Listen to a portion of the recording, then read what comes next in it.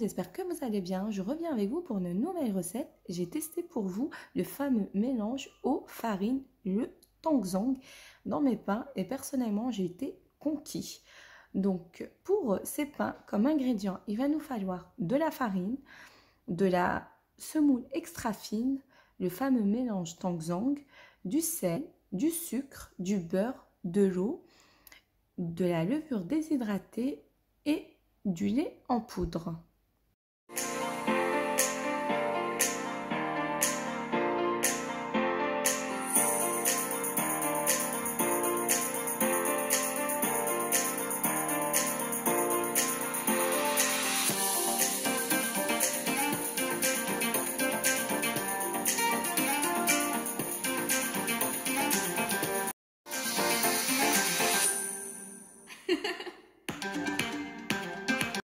Que ma pâte est bien pétrie, je vais la laisser reposer à température ambiante jusqu'à double de volume.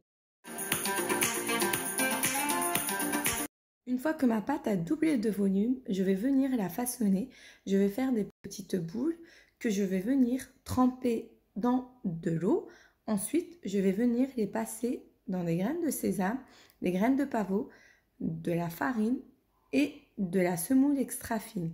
Après, vous pouvez utiliser les graines que vous voulez. Vous pouvez les décorer comme vous le souhaitez. Pour ma part, je vous donne juste une petite idée.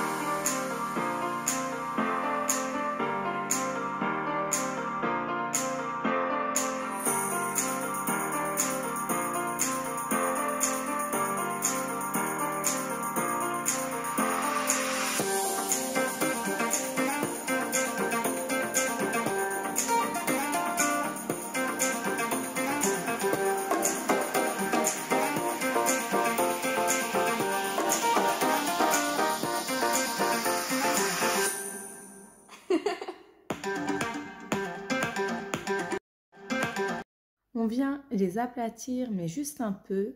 Ensuite, on les incise à l'aide d'un couteau.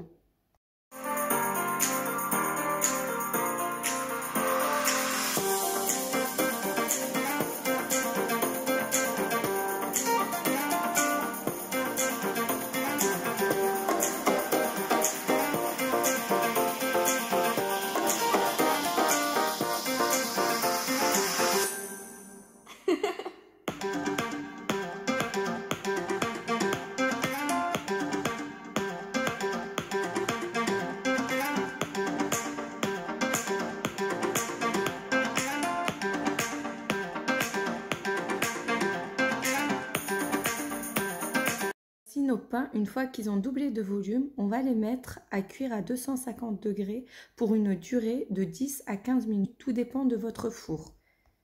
Voici mes pains à la sortie du four.